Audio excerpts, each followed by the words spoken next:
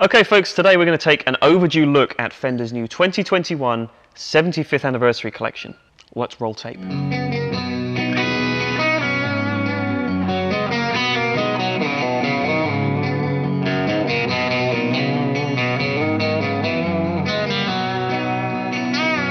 Right, hey there folks, Jack here from Peach Guitars and as I say today we're going to take a quick focus on Fender's new 75th anniversary collection which kind of slipped off the radar a little bit. It was unveiled earlier in the year at the NAMM 2021 show, which of course wasn't a show at all, it was just all online. Uh, so there was quite a little bit of attention already placed on these guitars around that time and it seems to have trailed off a bit, so we're bringing it back. We finally started to see some of the stock arrive, including a fine example of the American-made 75th anniversary Strat, along with the Mexican-made Telecaster as well. So there's a little bit of variety here. There's actually two different ranges. Both ranges consist of four models. So with the American-made guitars, you've got, of course, a Strat, a Telecaster, as well as two bass options in the form of the Jazz and the P bass as well. So they're really commemorating this anniversary correctly. They're going the full, uh, going for the whole hog, and basically just giving you every model not every model, but all the significant landmark models from their history. And they're doing exactly the same thing with a Mexican-made range as well. So if you're on a little bit more of a budget and you want to be a bit more price conscious, you can get these really, really nice looking diamond finished Mexican-made guitars as well. Now I've just got one example from each range to show you today. So I'm going to start by talking you through the American-made model in the form of this Strat.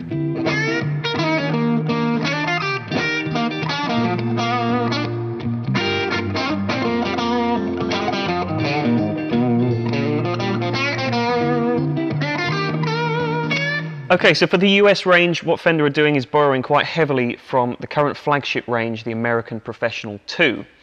So with this anniversary edition, you see a couple of mostly aesthetic tweaks to the guitar, but in terms of the neck profile and the general tone and feel and setup of these guitars, it's basically at heart an American Pro 2. So what that means is you've got a nice deep C neck profile, which has got a satin finish to it. So I like the fact that they kind of tried to signify how far the guitar range has come in the 75 years of the company. They're not really harking back and giving you vintage specs and vintage feel. This feels like a modern Strat, so you're either going to like that or you're not. But what they've done is they've countered it with a little bit of, I think, a softer, more vintage, pleasing look to the guitar with the gold hardware. Uh, on all the American guitars, they all come in this very nice two-tone bourbon burst finish. So it's a unique look. You don't get this finish on any other current Fender products. The gold hardware, I think, offsets it a little bit. It gives it that grandiose kind of premium feeling, along with the pearl tuners. But the feel of it, when you're playing it, is basically like a modern Strat. The only other change that I really like are the addition of custom shop fat 60s pickups in this guitar. So you get a really nice balanced tone. It's a very sweet sounding pickup. It's not quite as hard edged as some of the more modern Fender pickup choices. So I like that they've kind of stuck, again, tonally with a little bit more of a vintage reference.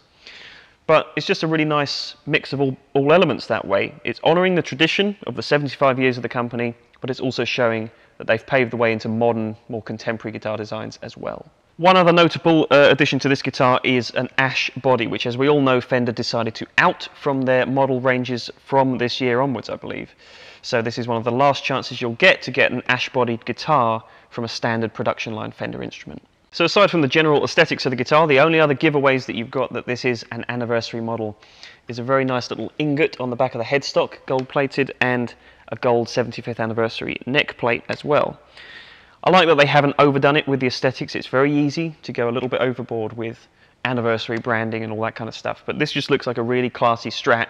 It performs like a kind of bone stock, really, really comfortable American Pro Strat as well. It's the best of all worlds. I like that they haven't overcooked the formula here. It's just a great sounding, great playing, and most importantly, really nice feeling modern Strat. And as I said earlier, the range is also complete with a Telecaster and a couple of bass models as well, which are on pre-order at the moment. So if you want to check out the rest of the range, click the link in the description below and head to peachguitars.com to do so.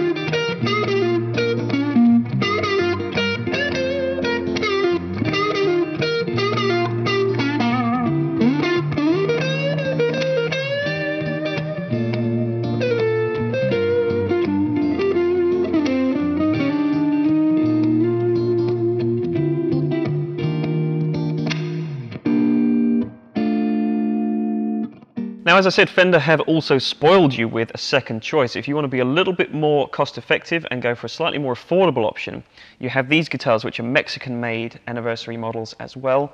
This Telecaster, I think, delivers the goods though, because it's got, it's based on the kind of um, Vintera platform from what I believe. So it's a little bit more of a vintage feeling neck, slightly more of a, a, a flatter C, uh, but you've got the Vintera 50s pickups in this particular guitar as well. So tonally, it has a little bit more of that traditional spank that people like out of a Telecaster. It's just a great all-round guitar as well. With the matching headstock and this platinum finish, it's got that real special commemorative feeling to it as well. But at its heart, it's just a great, once again, bone stock Fender model. Nothing too special here. They haven't overcooked it. They've just delivered on the goods. And you, once again, there's a Strat variant, which I haven't seen yet, but I'm pretty confident in its ability to recreate all the best elements of Strat tones from the past 70 odd years, as well as the uh, P bass and jazz bass as well.